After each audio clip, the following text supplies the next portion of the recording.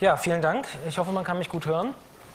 Ähm, ich, ich, erzähle heute ein bisschen was über Risiken beim Betrieb offener WLAN-Netze, Überschrift Sharing Access. Äh, ein Wort der Warnung, es handelt sich um einen juristischen Vortrag. Wir beschäftigen uns ein bisschen mit Rechtsprechung.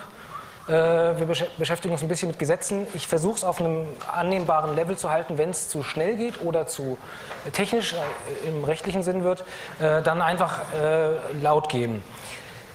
Ähm, ich habe fürs Ende eigentlich auch ein bisschen Zeit für Fragen eingeplant. Ich gehe davon aus, dass ich so 35 bis 40 Minuten brauchen werde. Bin allerdings auch davon ausgegangen, dass, wir, dass ich 60 Minuten haben werde. Im Zweifelsfall verlagern wir eine Fragerunde gerne auch äh, woanders hin. Es gibt zum Beispiel auf dem dritten Stock die Wireless Corner, die ich einfach mal übernehmen, also die ich jetzt als Standort mal äh, nennen würde. Da werde ich mich dann wahrscheinlich hinbegeben oder eben hier draußen. So, Sharing Access, äh, worum geht's? Was betrachten wir heute? Das ist äh, erstmal einleitend. Es geht hier um offene, also insbesondere nicht verschlüsselte, zugangsoffene Funknetzwerke. Klassisches Beispiel ist Freifunk. Ich gehe, da die meisten von euch, oder relativ viele gesagt haben, sie möchten gerne so einen Knoten betreiben, gehe ich mal davon aus, dass ihr wisst, was das, was das ist. Es ist eine Form von ganz untechnisch Mitmach-Community, bei der man zu Hause einen WLAN-Router ins idealerweise ins Fenster stellen kann oder aufs Dach stellen kann. Und dann können andere darüber ähm, unter anderem ins Internet gehen. Das ist so eine der Ideen. Aber, darum geht es heute auch, sind äh, Kaffeebetreiber, die ein WLAN anbieten, zum Beispiel um Kunden äh, anzulocken oder auch Hotels, die WLAN betreiben. Also alle, die das so ein bisschen gewerblich machen oder eben mit der Idee, ich möchte gerne etwas frei zur Verfügung stellen und das soll offen sein.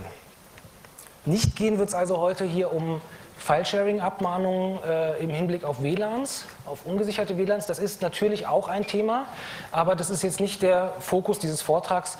Ähm, vielleicht kann ich in der Fragerunde da auf ein paar Sachen eingehen, wenn Bedarf besteht. Aber wie gesagt, grundsätzlich geht es erstmal hier um Freifunk und offenen Zugang zu Netzwerken. Was habe ich mit euch vor? Ähm, ich werde erstmal so ein bisschen in die rechtlichen Grundlagen, äh, insbesondere in dieses schöne Stichwort Störerhaftung einsteigen. Dann schauen wir uns an, wo kommt die Problematik her? Wie war das früher in Anführungszeichen? Also 2006 fangen wir da an. Was ist eigentlich heute? Da hat sich ein bisschen was getan. Und dann schauen wir in die Zukunft. Was könnte sich morgen entwickeln? Da gibt es einiges äh, vielversprechendes in der Rechtsprechung. Und es gibt insgesamt mittlerweile drei Gesetzesinitiativen, die wir uns kurz anschauen werden. Zum Schluss noch ein paar Empfehlungen für diejenigen, die so einen Knoten aufmachen wollen, äh, wie man die tatsächlich immer noch bestehende Rechtsunsicherheit etwas reduzieren kann, sogar relativ weit reduzieren kann. Das sind dann die Schlussfolgerungen. So, das habe ich schon von Risiken erzählt, vielleicht mal ganz am Anfang. Äh, das Oberlandesgericht Bremen musste sich mal damit beschäftigen und hat sehr deutlich formuliert, es gibt kein Risiko beim Betrieb eines WLAN. Gut, die Entscheidung ist vielleicht ein bisschen weit, ab, weit abseits. Es ging um einen Sorgerechtsstreit und da hat das Oberlandesgericht Bremen gesagt, also nur weil du dein Kind auf eine Schule schickst, die ein WLAN anbietet, Deswegen äh, brauchst du noch, muss, muss ich dir noch nicht das Alleinsorgerecht entziehen.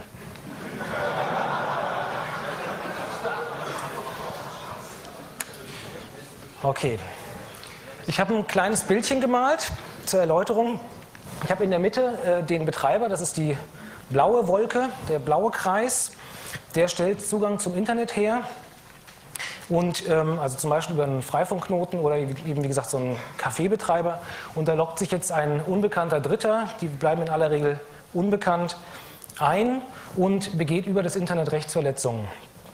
Also Urheberrechtsverletzungen, das ist so der, einer der typischen Fälle. Man darf aber nicht vergessen, dass es eben auch ganz andere Rechtsverletzungen gibt, zum Beispiel Beleidigungen. Wenn jemand in einem Forum jemand anderen beleidigt, ist das auch eine Art von Rechts, also ist das eine Rechtsverletzung.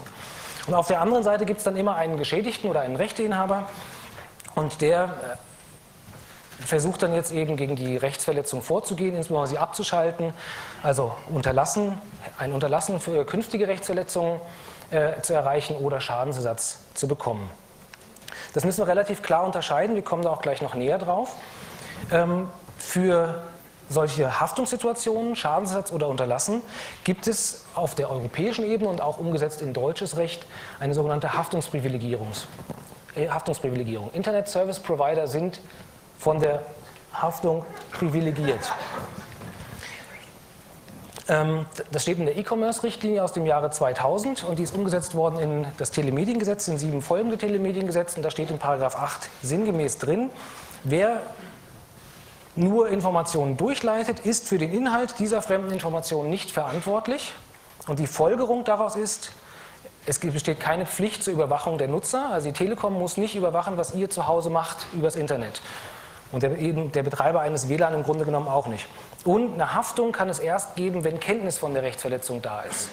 Also vorher nicht. Also wenn, wenn, wenn man informiert wird, da gibt es eine Rechtsverletzung, dann ist auch nach dieser Richtlinie eine ähm, Haftung durchaus möglich. Jetzt hatte ich eben schon gesagt, wir müssen unterscheiden zwischen Schadensersatz und Unterlassen. Unterlassen ist eben dieses in die Zukunft gerichtete, die, die Rechtsverletzung soll in der Zukunft verhindert werden und nicht wieder auftreten.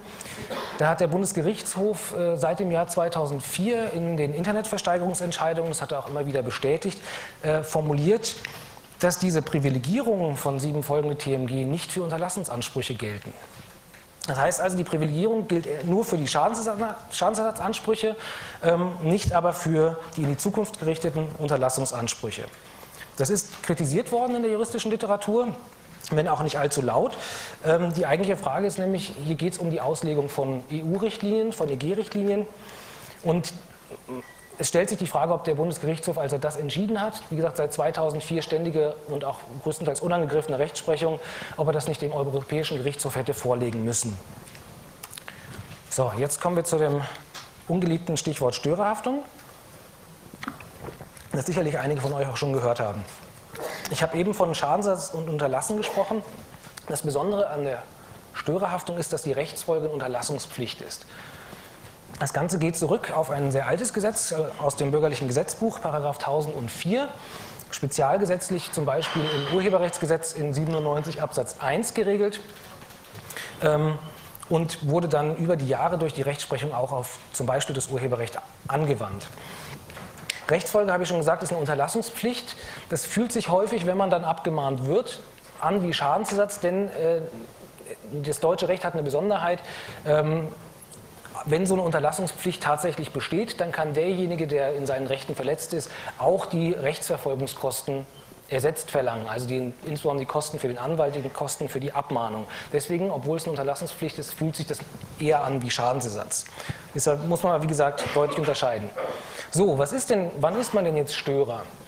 Und da hat sich entwickelt, Störer ist jemand, der an einer Rechtsverletzung als Nichtverletzer mitwirkt. Also ein Dritter begeht die Rechtsverletzung aber der, der, potenzielle Störer wirkt an ihr mit. Und die Voraussetzungen sind relativ niedrig. Das erste ist die, eine sogenannte adäquat kausale Mitwirkung.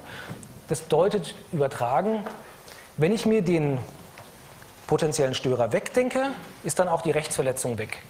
Und wenn wir das auf unseren WLAN-Fall hier übertragen, wenn ich mir den Betreiber hier wegdenke, konnte der Dritte nicht ins Internet gehen oder zumindest diese konkrete Form der Rechtsverletzung hätte dann nicht stattgefunden. Dass er über ein anderes Netz reingehen, hätte reingehen können, das ist eine theoretische Überlegung, das bleibt hier außen vor. Also haben wir, das habe ich befürchtet, haben wir eine adäquat kausale Mitwirkung. Um das Ganze wieder einzufangen, weil das sehr, sehr weit ist, äh, hat die Rechtsprechung Grundregeln entwickelt, wie man dann feststellt, ob jemand als Störer haften soll oder nicht. Und da haben die gesagt, wenn derjenige, der an der Rechtsverletzung als Nichtverletzer mitwirkt, Prüfungs- und oder Überwachungspflichten verletzt, dann soll er als Störer haften. Das ist jetzt ziemlich nebulös.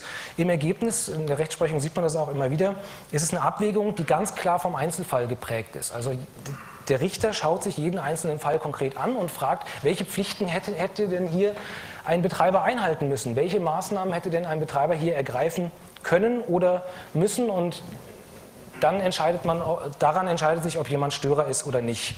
Die Rechtsprechung, ohne dass ich das jetzt weiter bewerten will, hat da äh, ein paar Beispiele, äh, ein paar Pflichten ähm, mal ausgesprochen. Zum Beispiel, um Filesharing zu verhindern, Portsperren. Wie gesagt, ich, ich bewerte das nicht, das ist, also ob es wirksam ist oder nicht, aber die Rechtsprechung hat das gesagt. Zweites, ein ungesichertes WLAN betreibt man nicht, sagt die Rechtsprechung. Zumindest für Private, da kommen wir noch näher drauf.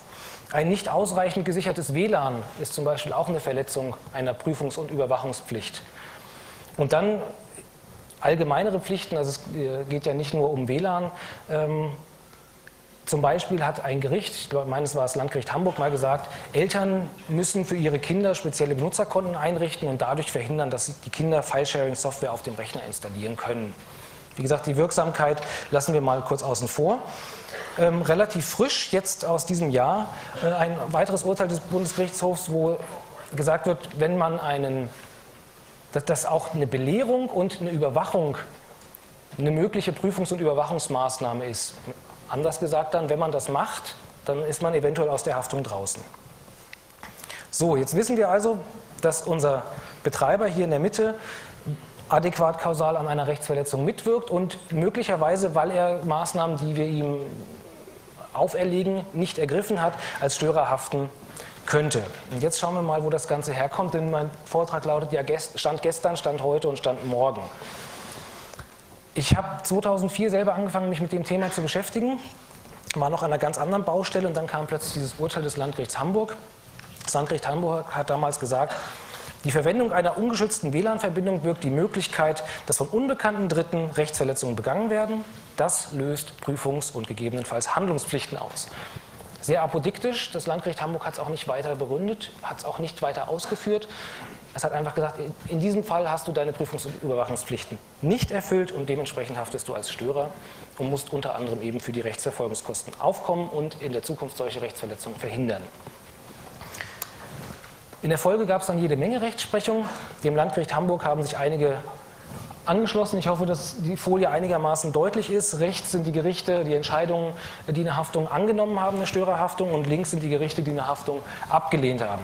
Es gab dann eine sehr starke, äh, relativ starke Gegenströmung mit dem Oberlandesgericht Frankfurt im Jahr 2008 und das hat gesagt, der Inhaber eines Internetanschlusses haftet grundsätzlich nicht als Störer für die unberechtigte Nutzung einer WLAN-Verbindung durch unberechtigte Dritte, die mit ihm in keinerlei Verbindung stehen. Also die genaue Gegenposition. Das Landgericht Hamburg sagt, so, das kommt so ein bisschen aus dem Gefahrenbegriff her. Wer ein WLAN aufmacht, eröffnet eine Gefahrenquelle und soll auch dafür haften. Das Oberlandesgericht Frankfurt sagt, naja, das sind ja Dritte, die sind ja selbst verantwortlich und dementsprechend haftest du nicht. Wie gesagt, da gab es eine Menge Rechtsprechung. Ich habe hier in der Mitte des Kreises stehen bis Mai 2010. Das hat einen bestimmten Grund. Gegen das Urteil des Oberlandesgerichts Frankfurt ist nämlich Revision eingelegt worden. Und im Mai 2010 hat der Bundesgerichtshof hierzu eine Entscheidung gefällt, die sogenannte Sommer unseres Lebens Entscheidung. Ein Titel, den ich vorher nicht kannte, äh, mir tatsächlich auch einmal auf YouTube angehört habe, ich glaube es war YouTube, ähm, ich hätte ihn auch nicht runtergeladen. Und der BGH hat damals gesagt, der Inhaber eines WLAN-Anschlusses, der nicht die zum Zeitpunkt des Kaufs marktüblichen Sicherungen anwendet, haftet als Störer auf Unterlassung. Punkt 1, den man hier sehr deutlich sagen muss, der Bundesgerichtshof hatte einen Fall, da ging es um Privat, eine Privatperson und diese Privatperson hatte ein verschlüsseltes WLAN, das war nur nicht nach Auffassung des BGH nicht ausreichend verschlüsselt. Ähm, es ging hier nicht um das, was wir hier eigentlich untersuchen oder was wir hier betrachten, nämlich Freifunk, Internetcafés, Hotels etc. Der Bundesgerichtshof hat seine Entscheidung begründet und hat gesagt, der Inhaber dieses Netzwerkes hat ja ein ganz großes Eigeninteresse am Schutz seiner Daten. Denn wer in das WLAN reinkommt, so der BGH, kommt ja automatisch auch an die Daten ran. Dann hat der Bundesgerichtshof auch gesagt, der Private, der nur sein eigenes privates WLAN betreibt, zum Beispiel für seine Familie, der verfolgt kein Geschäftsmodell. Das ist jetzt, das wirkt jetzt ein bisschen aus der Luft gegriffen. Grund dafür ist, ähm, ich habe vorhin gesagt, die Störerhaftung, da macht man eine Abwägung im Einzelfall. Und einer, eines der Elemente, das da immer wieder eingestellt wird, ist, ob derjenige, der einen, einen Dienst betreibt und eventuell als Störer haftet, ein, ein legales oder nützliches Geschäftsmodell betreibt. Zum Beispiel eBay. Bei eBay kann ich meinen Hausrat verkaufen oder ich kann eine gefälschte Rolex bei eBay verkaufen. Aber grundsätzlich sagt der Bundesgerichtshof, da eBay ein legales Geschäftsmodell ist, sind die Pflichten, die ich anlegen kann, eher niedriger, also deutlich niedriger anzusetzen. Das war hier eben so der BGH, anders. Interessant ist weiter, dass der Bundesgerichtshof gesagt hat, dass es keine Privilegierung nach 8 Telemediengesetz gibt. Das ist deshalb äh, sehr bemerkenswert, weil der Bundesgerichtshof ja seit 2004 sagt, dass die Privilegierung für die Störerhaftung ohnehin nicht greift. Das heißt, er hätte sich damit gar nicht beschäftigen müssen. Ein Indiz dafür, dass er zumindest mal darüber nachdenkt, ob, sie, ob die Privilegierung in anderen Fällen vielleicht Anwendung finden könnten. Ich habe schon ein bisschen erwähnt, dass das Urteil ist inhaltlich stark kritisiert worden, insbesondere was die Tatsachenfeststellung angeht. Da gab es einige Unsicherheiten. Die Anwendbarkeit der Privilegierung, habe ich eben gesagt, ist seltsam. Warum sagt das überhaupt? Die Beweisführung ist unklar. Und was jetzt für die, für die Betreiber von offenen Netzen die Folge sein soll, das war auch unklar. So, damit sind wir im Jahr 2010. Kleine Randnotiz, dieses Jahr hat das Bundesverfassungsgericht in einem anderen Fall gesagt, dass dieses Urteil des BGH nicht verallgemeinerungsfähig ist. Also auf Nicht-WLAN-Fälle kann man es nicht übertragen. Es ist tatsächlich eine Einzelfallentscheidung. Und das muss man einfach so ein bisschen im Hinterkopf behalten, wenn man, sich, wenn man das Urteil übertragen will auf andere Fälle. Dem Urteil des BGH ist eine Fülle von Rechtsprechung gefolgt. Ähm, ich habe hier nur, nur einen Ausschnitt. Ich habe eine komplette Liste, die werde ich auch dann äh, online stellen. Eine vielleicht komplette Liste. Auf jeden Fall ist sie, ist sie sehr lang. Ähm, danach, also nach diesem Urteil sind also jede Menge neue Urteile ins, äh, gekommen. Die meisten waren wieder zu Privatpersonen. Dass da tatsächlich ein, äh, ein gewerblicher Betreiber äh, im Spiel war, war die absolute Ausnahme. Was der Bundesgerichtshof damals im Jahr 2010 auch gesagt hat, ist, dass der Kläger in der Form, also der, derjenige, der geschädigt ist, in der Form privilegiert wird. Ich fange nochmal von vorne an. So, grundsätzlich im, im, im, Zivilprozess ist es so, dass der Kläger alle, alle, alle Anspruchstatsachen, alle Anspruchsgrundlagen beweisen muss. Das heißt, der Kläger müsste beweisen, erstens, der Beklagte ist der Anschlussinhaber, der Beklagte hat die Rechtsverletzung begangen oder der Beklagte hat dieses Netz betrieben und hat die Maßnahmen nicht ergriffen. Schon das erste ist ziemlich schwierig, weil, weil der Anspruchsinhaber, der Kläger, erstmal nur die IP-Adresse sieht. Nach außen hin sieht er nur die IP-Adresse des Betreibers. Und hier hilft der BGH und sagt, es gibt eine sekundäre Darlegungslast. Wir, wir gehen davon aus, dass man von der IP-Adresse auf den Anschlussinhaber schließen darf. Und an diesem Punkt muss dann der Anschlussinhaber sagen, ich war aber nicht der Rechtsverletzer. Ich war nicht beteiligt. Ich war ein Nichtverletzer und ich habe zusätzlich dann eben meine Prüfungs- und Überwachungspflichten äh, erfüllt. Und das wird ausgefüllt durch einen Vortrag, nachdem die ernsthafte Möglichkeit dargelegt ist, dass ein anderer als, die, als der Beklagte die Rechtsverletzung begangen hat. Klassischer Fall, der Vater in einer Familie betreibt ein WLAN und sagt, ich habe zwei Kinder, ich habe eine Ehefrau, die nutzen alle mein WLAN, ich war es definitiv nicht.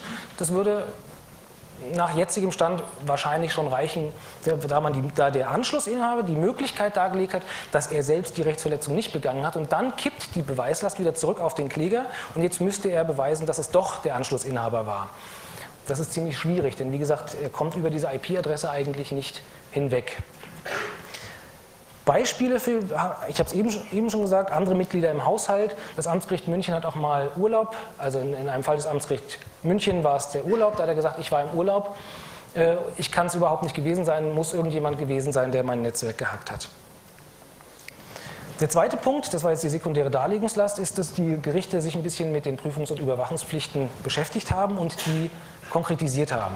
Der Bundesgerichtshof hat damals gesagt, die Sicherung des WLAN-Netzes muss bei, Klammer auf, bei Privaten nach dem aktuellen Stand beim Kauf verschlüsselt sein. Mit anderen Worten, wer es 2004 gekauft hat und immer noch heute betreibt, bei dem reicht äh, ja, WEP. In, interessanterweise hat der Bundesgerichtshof das in dem Fall tatsächlich nicht so gemacht. Da hat er nämlich nicht auf den Stand des Kaufs abgestellt, sondern so auf, auf so einen halbwegs aktuellen Stand. Der hat da, glaube ich, WPA gefordert. Heute, wer sich heute ein WLAN kauft, sollte es mit WPA 2 sichern und ein ausreichend langes Kennwort nehmen. Zufällig. Nicht das, was auf dem Router draufsteht. Das ist nämlich dem, äh, dem Beklagten im Fall Sommer unseres Lebens auf die Füße gefallen. Interessant war auch äh, die Entscheidung des Landgerichts Frankfurt. Da hat ein Hotelbetreiber tatsächlich seinen WLAN verschlüsselt, auch ordentlich verschlüsselt, und hat seinen Gästen das Passwort ge äh, gegeben und hat von denen die rechtskonforme Nutzung verlangt. Und das Landgericht Frankfurt sagt, nach der BGH-Entscheidung absolut äh, folgerichtig, dieser Hotelbetreiber haftet nicht als Störer, denn erstens hat er dargelegt, dass er es nicht selber gewesen sein wird, höchstwahrscheinlich, und zweitens hat er dargelegt, dass er seine Prüfungs- und Überwachungspflichten erfüllt hat. Ein weiteres Beispiel ist äh, das Urteil des Amtsgerichts München. Ähm, da hat ein Vermieter das Netz wiederum verschlüsselt und hat seine Mieter belehrt. Auch das sollte ausreichen. Wieder kleine Randnotiz, das Landgericht München hat Anfang dieses Jahres sehr deutlich mal äh, sich mit der Frage beschäftigen müssen, ob jemand, der ein WLAN betreibt, seine Nutzer identifizieren muss. So wie man heute, wenn man eine Prepaid-Karte fürs Handy kauft, seinen Perso vorlegen muss und die das alles schön aufschreiben. Ähm, hat sich das Landgericht München gefragt, ob, ob der Betreiber eines WLAN das auch muss und hat ganz deutlich gesagt, nee, nach keiner bekannten Rechtsgrundlage ist dies der Fall. So, das eigentliche Problem, das wir haben, ist aber immer noch ungelöst, nämlich die Rechtsunsicherheit. Also was machen wir eigentlich bei einem offenen Netzwerk? Wir wissen jetzt, wenn ich meinen WLAN verschlüssele, nach WPA2 ein ausreichend langes Kennwort verwende ähm, und im Idealfall alle meine, meine Nutzer auch noch belehre, dann bin ich fein raus. Nur ähm, der Freifunkknoten soll offen sein. Das ist gerade das Geschäftsmodell im weiteren Sinne. Das, Café-WLAN soll offen sein. Das heißt, das beißt sich, das passt noch nicht. Und deswegen ist jetzt die Frage, ob wir einen Schweif am, am Horizont sehen und wir schauen jetzt mal in die Zukunft, was morgen passieren könnte. Ich fange mit der Rechtsprechung an, weil wir da gerade waren. Auf die, Gesetze, auf die Gesetzesinitiativen komme ich gleich. So, der Europäische Gerichtshof hat im Jahr 2010 sich zu Filterpflichten geäußert. Und zwar hat er gesagt, eine uneingeschränkte Anordnung an Access-Provider, Internetverkehr zu filtern und bestimmten Verkehr zu blockieren, verstößt gegen EU-Recht. Ich darf also nicht als Staat der Telekom gegenüber sagen, du darfst die und die Adressen nicht mehr ausliefern. Zumindest nicht auf Grundlage der, der aktuellen Gesetze und nicht ohne das auch noch weiter einzuschränken. Wenn da eine gesetzliche Regelung irgendwann kommt, dann mag das in Ordnung sein nach dem Europäischen Gerichtshof, aber im Augenblick keine Filterpflichten für Access Provider. Und das ist, kann man dann wiederum als Argument nehmen. Naja, wenn ich Filtermaßnahmen nicht verlangen darf, dann kann ich sie eigentlich auch nicht als Prüfungs- und Überwachungspflicht verlangen und darüber, über diesen Umweg, die Störerhaftung begründen. Mit anderen Worten, Filterpflichten, wenn wir Portsperren mal als Filter äh, sehen, könnte man das eigentlich auch schon wieder rauskegeln. Kommen wir vielleicht noch drauf. Es gibt noch einen zweiten Trend in der deutschen Rechtsprechung, der sich in den letzten Jahren gezeigt hat. Und zwar wird in aller Regel unterschieden zwischen dem Access Provider und dem Host Provider. Das hat erstmal eine gesetzliche Grundlage. Der Host Provider, zum Beispiel eBay, stellt nur Informationen von Nutzern zur Verfügung. eBay verhökert die Rolex nicht selber, sondern das macht, das macht ihr. Ja, das heißt, das sind eure Informationen, ihr gebt den Text ein äh, zur, zur Rolex. Der Access Provider hingegen vermittelt nur den Zugang zum Internet. Und der ist in Paragraph, also das ist in Paragraph 8 TMG geregelt. So, sagt die Rechtsprechung, einem Host-Provider obliegen gewisse Pflichten. Ja, der hat Pflichten. Allerdings erst ab Kenntnis, streng nach Gesetz, aber er hat gewisse Pflichten. Auf der anderen Seite sagen das Landgericht Köln, das Landgericht Hamburg, der Access Provider haftet gerade nicht für Rechtsverletzungen der Kunden. Denn in aller Regel sind Maßnahmen, die man ergreifen könnte, dem Access Provider unzumutbar. Wir haben hier also ein Auseinanderfallen der Rechtsprechung, die es aber bisher noch nicht wirklich bis zum BGH geschafft hat. Da muss man mal schauen, ob sich dort was tut und ob die vielen Urteile alle Makulatur sind, wenn es ein Fall mal bis zum BGH bringt. So, das war die Rechtsprechung. Jetzt kommen wir zu dem, was einige von euch, vermutlich fast alle, auch schon mitbekommen haben, nämlich der Ansatz gesetzlicher Regelungen. Also nach, nach, meiner Auffassung ist der Grund dafür, dass es diese ganzen gesetzlichen Regelungen gibt, unter anderem, dass im März 2012 ein, eine Kaffeebetreiberkette öffentlichkeitswirksam alle WLANs abgeschaltet hat und gesagt hat, wir können das WLAN nicht mehr rechtssicher anbieten, das ist uns zu unsicher, und deswegen machen wir das nicht mehr. Ich habe da hinten eine Frage gesehen.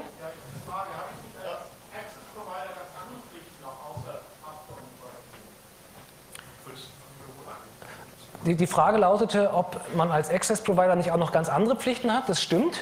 Als Access Provider hat man tatsächlich auch noch andere Pflichten, die ergeben sich insbesondere aus dem Telekommunikationsgesetz. Allerdings, wer ein WLAN betreibt, der hat dem obliegen die ohnehin. Ähm, und für Klein-, Klein und Kleinstbetreiber greifen viele dieser Pflichten nicht. Also wer ein WLAN bei sich ins Fenster oder aufs Dach stellt, der muss zum Beispiel keine, Tele keine äh, Anlagen zur Telekommunikationsüberwachung einrichten. Ja, da gibt es da, da Regelungen für Klein- und Kleinst-WLANs. Noch war gerade hier, hier vorne links. So. Also unter anderem über, über, diese, über diese Meldung, die es tatsächlich bis in die Tagesschau geschafft hat, die es im Grunde genommen in alle wichtigen Medien geschafft hat, äh, ist das Problem dieser Rechtsunsicherheit, das die äh, Betreiber plagt, weiten Teilen der Öffentlichkeit und eben auch Teilen der Politik bekannt geworden. Und das haben dann die mehrere Parteien mittlerweile aufgegriffen und haben äh, Gesetzesänderungen auf den Weg gebracht, sagen wir mal. Und zwar stelle ich als erstes vor den ähm, Vorschlag der SPD, ähm, geht zurück auf die äh, SPD-Landtagsfraktionen äh, Bremen, Hamburg und Berlin.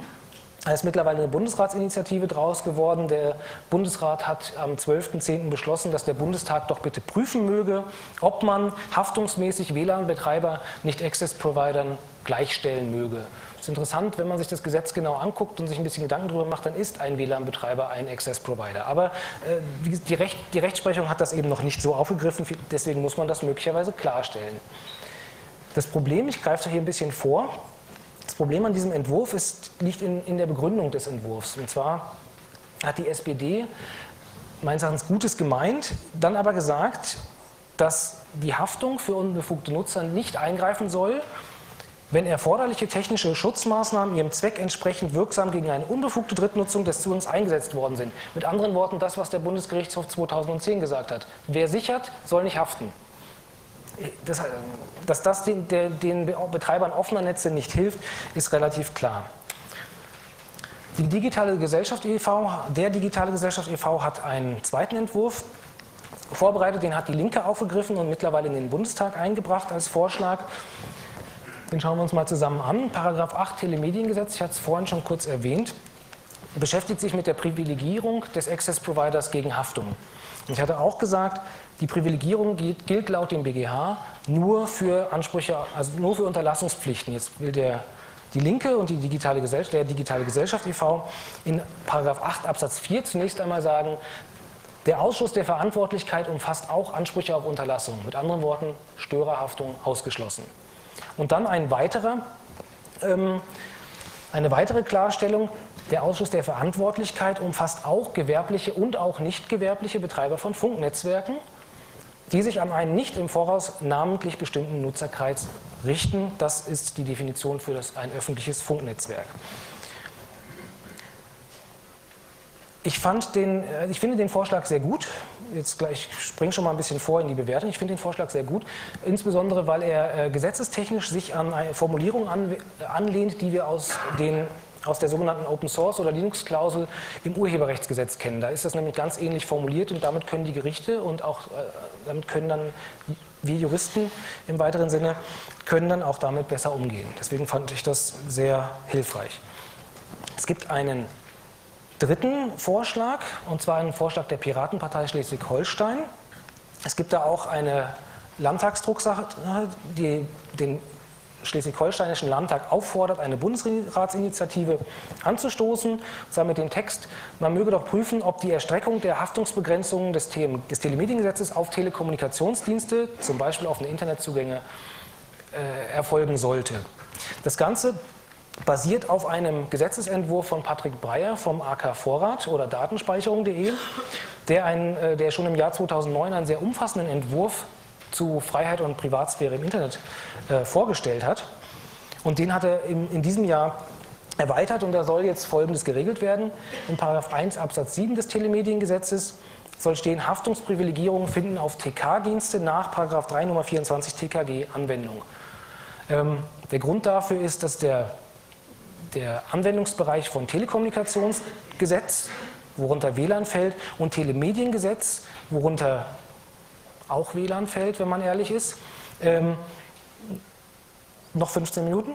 Super. Echt? So viel? Ich, ich habe viel schneller geredet, als ich dachte, offensichtlich.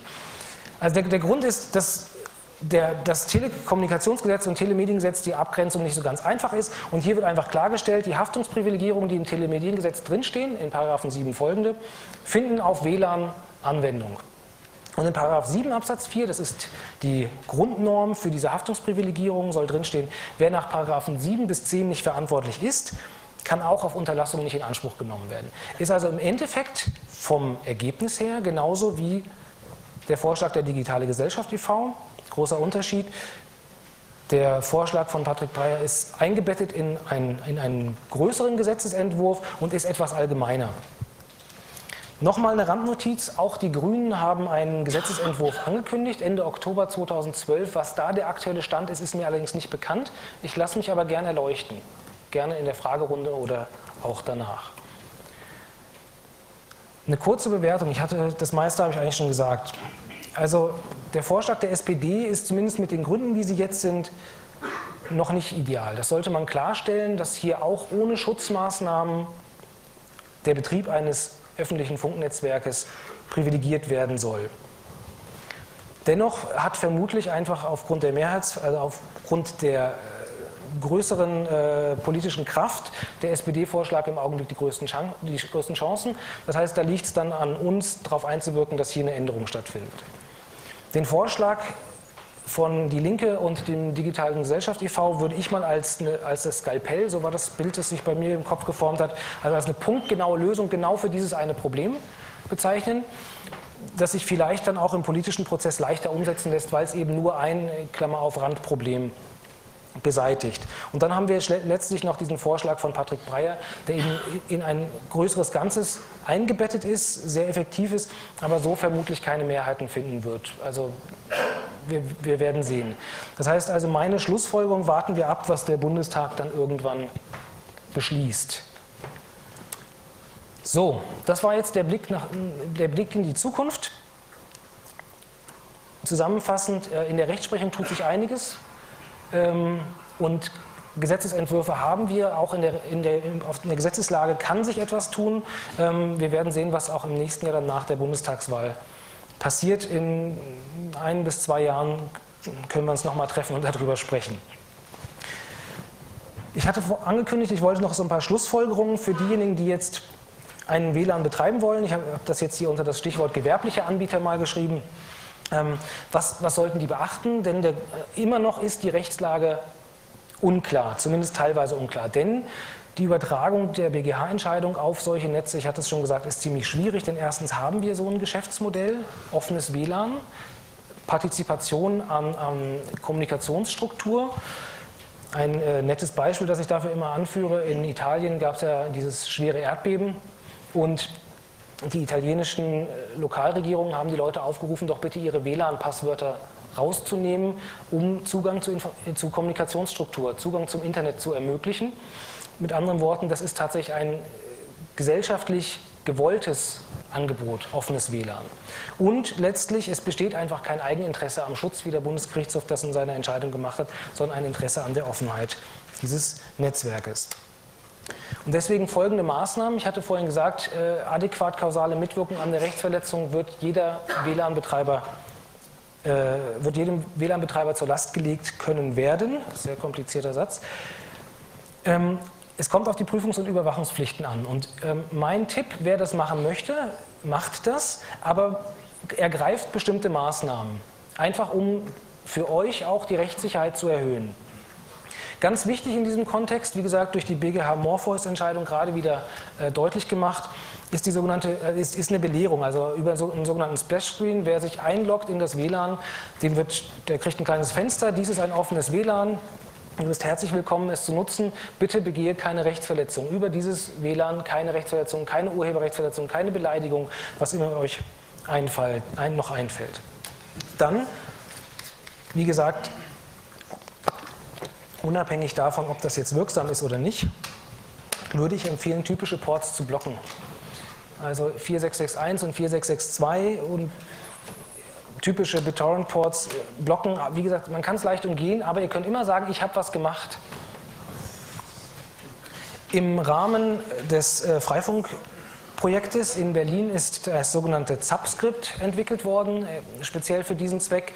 Das Subscript äh, beobachtet Internetverkehr, nicht durch die Packet Inspection, sondern äh, versucht einfach herauszufinden, ob sich ein Klient, äh, ein, ein, jemand, der im, sich im Netz bewegt, ob der sich untypisch bewegt, insbesondere ob der in sehr kurzer Zeit sehr viele Verbindungen, neue Verbindungen aufmacht. Das ist ein typisches Verhalten von File-Sharing-Software. Leider auch ein typisches Verhalten von Skype, aber soweit ich das mitbekommen Soweit ich das mitbekommen habe, äh, haben sie es geschafft, tatsächlich, dass Skype meistens durchkommt und File-Sharing meistens dann unterbunden wird. Noch eine Sache, was ich empfiehlt, ich hatte es vorhin schon gesagt, wer ein WLAN betreibt, der ist Telekommunikationsdiensteanbieter und auf den findet das Telekommunikationsgesetz Anwendung. Meldet das WLAN bei der Bundesnetzagentur an. Ein Formular könnt ihr auf der Homepage runterladen. Einziges Problem, die Bundesnetzagentur akzeptiert nur Anmeldungen von äh, gewerblichen Anbietern. Eingetragener Kaufmann, Unternehmen, GmbH etc. Auch als Privatperson, wenn ihr so ein Freifunknetz oder ähnliches betreibt, meldet euch, also schickt die Anmeldung hin und da komme ich dann auch schon zum nächsten Punkt. Dokumentiert, was ihr tut. Am Tag der Einrichtung eures WLAN schreibt ihr auf, ich habe das WLAN jetzt eingerichtet mit der folgenden Firmware und mit folgendem Splash Screen Plugin, mit dem Subscript. Ich habe folgende Ports geblockt, alles schön mit, mit äh, Screenshot ausdrucken und in eine Mappe. Ich habe den Antrag an die Bundesnetzagentur geschickt, ausdrucken und in die Mappe und das Ganze unterschrieben und, wer, und, dann noch aufschreiben, wer war denn dabei. Dann hat man auch noch Zeugen für den Fall der Fälle. Denn wenn dann die Abmahnung ins Haus flattert, greift man einfach ins Regal und hat hier eine ganze Menge Argumente, die man vorbringen kann. Last but not least wird, wird, durch den, ich bin ohnehin gleich durch, dann können wir mit den Fragen anfangen. Ähm, eine mögliche Methode, die das Problem nicht löst, äh, sondern das Problem eigentlich verlagert, äh, ist ein Umweg über Schweden. Die äh, Freedom Fighter Box ist da vielleicht einigen ein Begriff. Das ist, ist im Grunde genommen ein WLAN-Router, der schon so eingerichtet ist mit einem festen Account über einen VPN-Anbieter in Schweden, sodass der Geschädigte immer glauben wird, ihr seid in Schweden und euch dann in Deutschland nicht abmahnen wird. Wie gesagt, ist eigentlich keine Lösung des Problems, aber äh, ein. Also, äh, äh, so.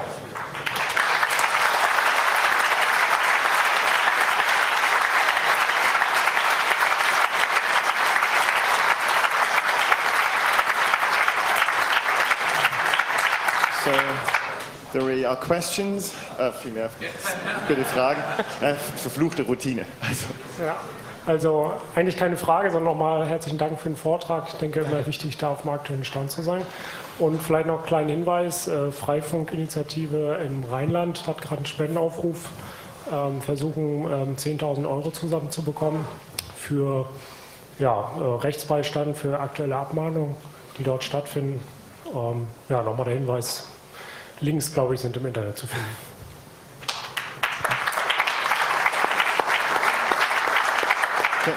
Wir, wir nehmen kurz mal eine Frage aus dem Netz.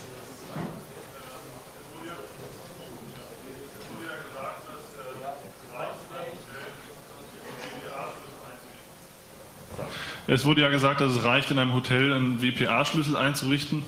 Ähm, Jetzt ist das so, dass da hat natürlich viele Gäste und die äh, äh, kommen und gehen. Ähm, ist man da auch in der Pflicht, diesen Schlüssel ab und zu zu ändern?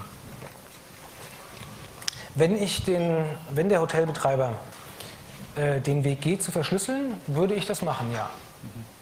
Also äh, es gibt dafür keine, keine Fälle in der Rechtsprechung. Der Bundesgerichtshof hat gesagt, äh, WLAN-Sicherung, ausreichend langes Kennwort, mehr, mehr wissen wir im Augenblick nicht. Ähm, ich, wenn man diesen Weg geht, würde ich das machen, ja. Einfach alle Woche, ein, äh, einmal im Monat etc. Das gleiche gilt natürlich auch für einen, für einen Kaffeebetreiber, ja. Okay. Ja, ähm, muss man nicht davon ausgehen, dass bei der SPD und auch der CDU kein Interesse daran besteht, für Betreiber offener WLANs überhaupt die Regelungen zu verbessern? Denn äh, dieser Fall, bei dem jetzt Starbucks oder wer immer das war, mir ist ja nicht bekannt, ähm, seine, sein öffentliches WLAN-Angebot eingestellt hat, das ist ja ein Fall, der dann in der Öffentlichkeit gelandet ist als ähm, jetzt geht gewerblich nicht mehr. Mhm. Und äh, der Entwurf der SPD spricht ja auch davon, okay, wir wollen das jetzt für gewerbliche Betreiber wieder gut machen. Und dann könnt ihr euch, wie ihr es gewohnt seid, mit eurer Adresse und eurem Klarnamen da irgendwie registrieren und dann habt ihr einen Zwangsproxy und dann kriegt ihr nur Port 80 und das ist alles, was ihr jemals haben werdet. Ähm, das heißt, äh, ist es nicht so, dass wir überhaupt viel mehr die Aufmerksamkeit darauf lenken müssen, dass es überhaupt Konzepte wie Freifunk und offenes WLAN geben kann äh, und dass wir überhaupt die Möglichkeit hätten, eine Alternative ähm, nicht nur zu, also eine Alternative zu gewerblichen Anbietern zu, zu schaffen, sondern halt wirklich eine offene Infrastruktur, die von allen für alle kommt. Das beantworte ich mit einem ganz klaren Ja.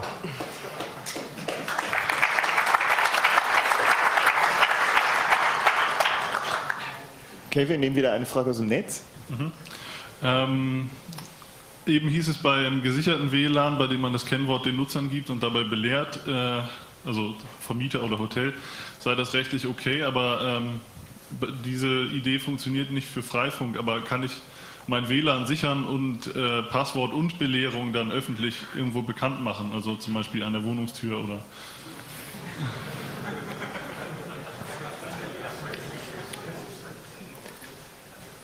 Gleiche Antwort wie, wie vor, ja.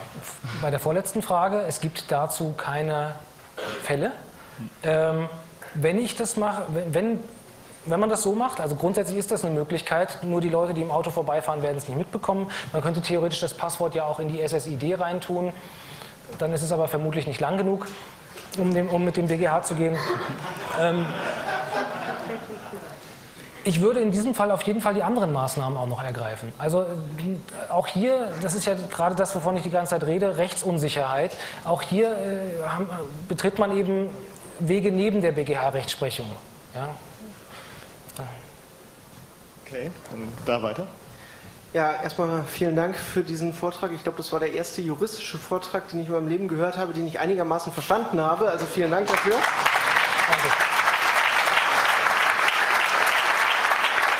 Ähm, zu meiner Frage, äh, vorhin hast du erwähnt, wir haben da einmal das Telekommunikationsgesetz und dann haben wir das Telemediengesetz und das eine ist WLAN und das andere ist auch WLAN.